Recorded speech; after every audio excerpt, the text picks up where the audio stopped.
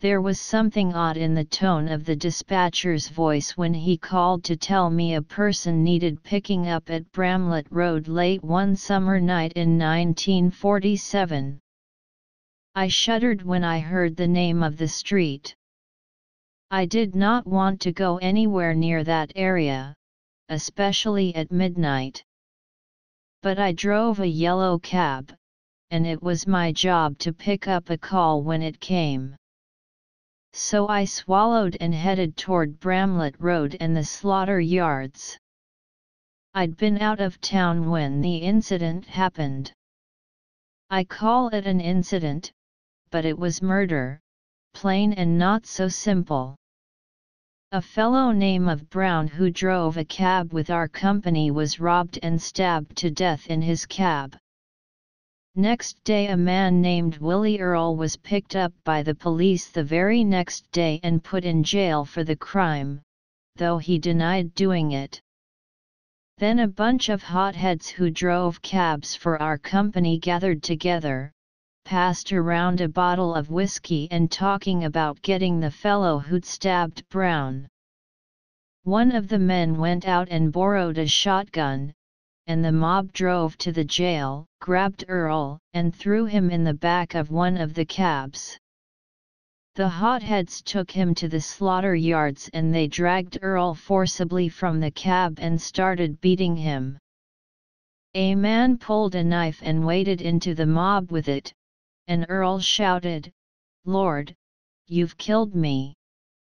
That's when the fellow with the shotgun put a bullet in his head, reloaded, and shot him twice more.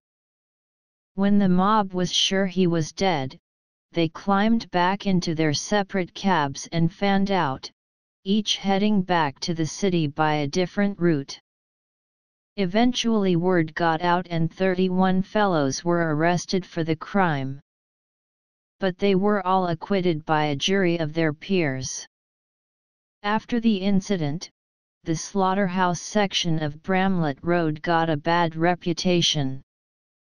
No one in the cab company much liked driving there, especially at night. Folks claimed it was haunted by the ghost of Willie Earle. I shivered as I pulled onto Bramlett Road and slowed down to look for my passenger. No one was there.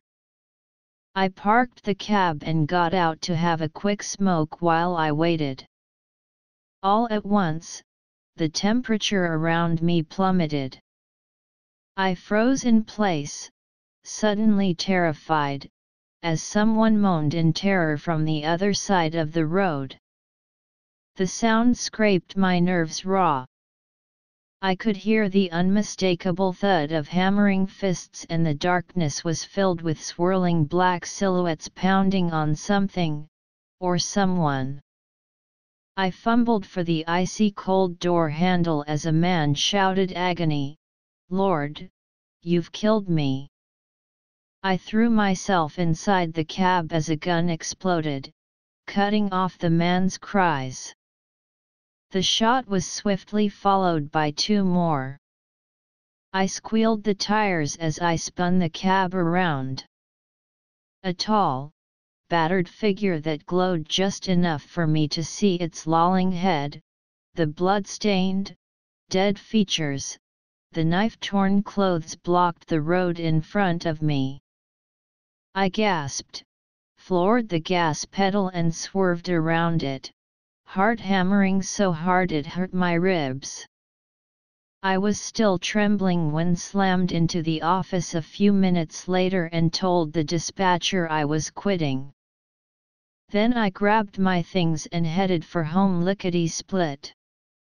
There was no way I was going to Bramlett Road ever again. And I never did.